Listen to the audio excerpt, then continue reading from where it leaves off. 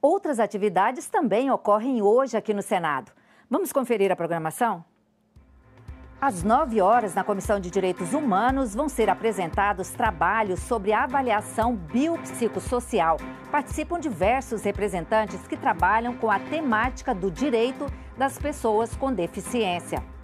E às 10h30, na Comissão de Assuntos Sociais, vai ser realizada uma audiência pública sobre a prescrição indiscriminada de medicação para tratamento do TDAH.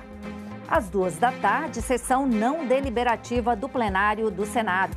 Senadores fazem discursos e comunicações.